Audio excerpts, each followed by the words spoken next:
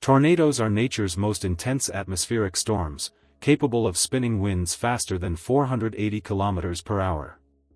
These swirling columns of air stretch from thunderclouds down to the ground, forming most often in regions where warm, moist air meets cold, dry air. The United States sees the most tornadoes in the world, especially in the area known as Tornado Alley. Despite their power, most tornadoes last less than 10 minutes and travel only a few kilometers. Yet the strongest, like the tri-state tornado of 1925, can carve paths over 350 kilometers long. Scientists use the enhanced Fujita scale to measure tornado strength, from EF0 to EF5. With radar and satellite tracking, forecasts are improving, saving more lives each year through early warnings and preparedness. Subscribe for more random educative videos.